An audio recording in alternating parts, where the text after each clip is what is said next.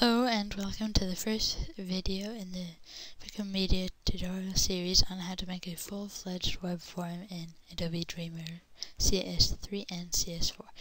This video will be on how to create the form itself, the second video on how to validate the data, and the third video which will be divided into two separate videos because it will be too long. Uh, otherwise, um, will be on how to create the processing script. So let's get started. I apologize if I'm going too fast, but I have to fit this within 10 minutes because of YouTube.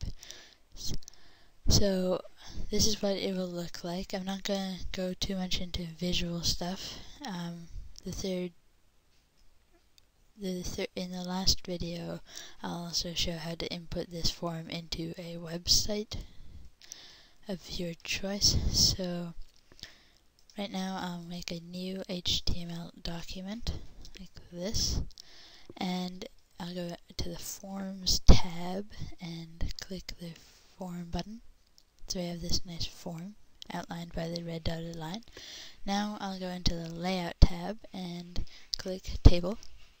I'll make it 6 rows, 2 columns, no thickness, no border thickness, uh, 3 cell padding, and 0 cell spacing. Press OK. I'll make it a bit wider as well, so we can work with it easier.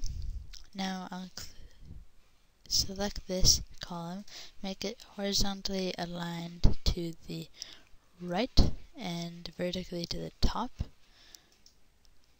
And this one horizontally to the left and to the top. Now I'll go into this column and insert and go under the Forms tab and insert a text field.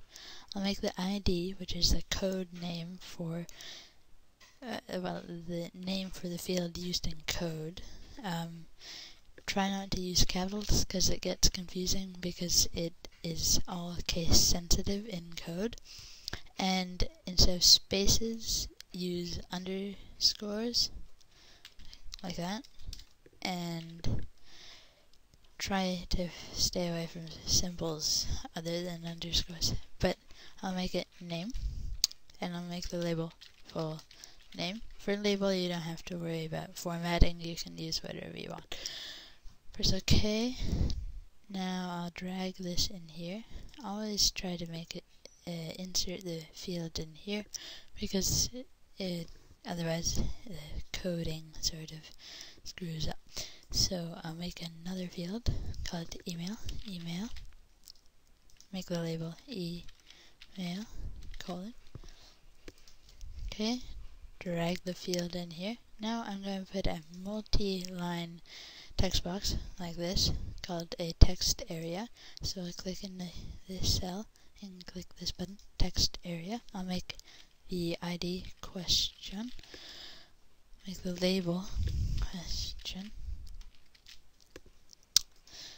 Okay, now drag this in here.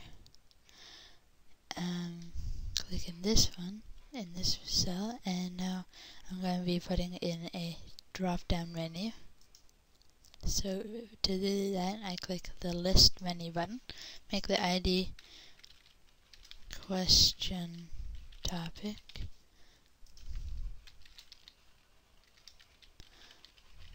Oops.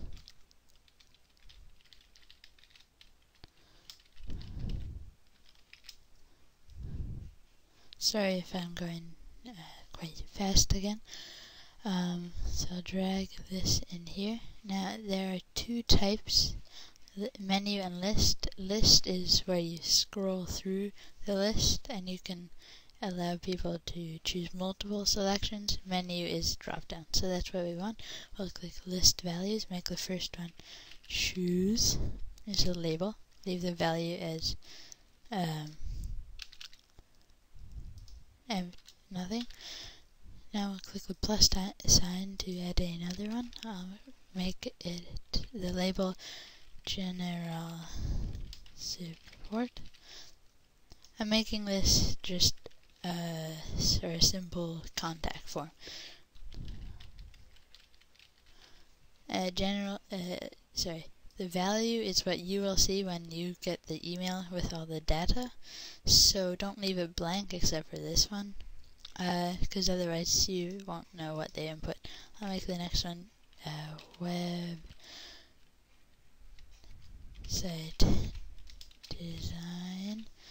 Make the value web design and click plus. And I'll make an image design. The value image design. Okay press ok. Now we have this but we want the initially selected value to be true so we'll go down here and click that. Good. Now we'll put in a file field such as this one I'm going to be making the uh, it's used to uh, for, as an example uh, for a, like an image for of like the problem that they're having if they have any. So I'll make the ID uh, image of pro oops image of problem okay label like this one just type it out press OK. Now drag this in here. Now what I'll do is I'll make all the character width 35 for all the fields. Just by selecting them and then going 35 in the character width. Do the same here. Just a nice visual aspect to line them all. Um, now what I'll do is insert a reset button and a submit button. So I'll make the first the reset button. Reset. Don't put a label. It goes in front of the button. It doesn't look good. I'll make it uh, the action reset form. So it changes the title for us automatically. Uh, and I'll make a submit button. So it again, no label. It's automatically submit form button. So here's our form. I'll just quickly preview it in the browser of my choice. I would usually use Firefox, but I'm going to use Internet Explorer. Just going to save it as anything. Um, here we go. I'll type my name, RX, email, something. We have not yet validated. I'll do that in the next tutorial. Question something.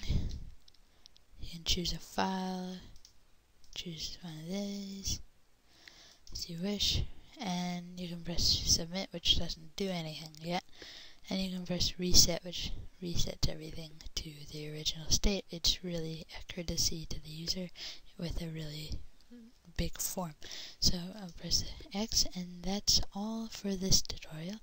Please check out the next tutorial um, when it comes out and leave comments uh, with questions if you have any.